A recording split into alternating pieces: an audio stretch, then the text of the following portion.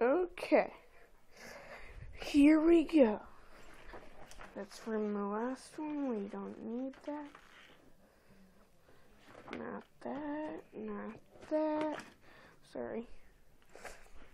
Okay. Fold the paper in half. Fold those down.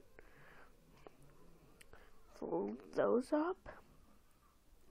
Fold them slightly out.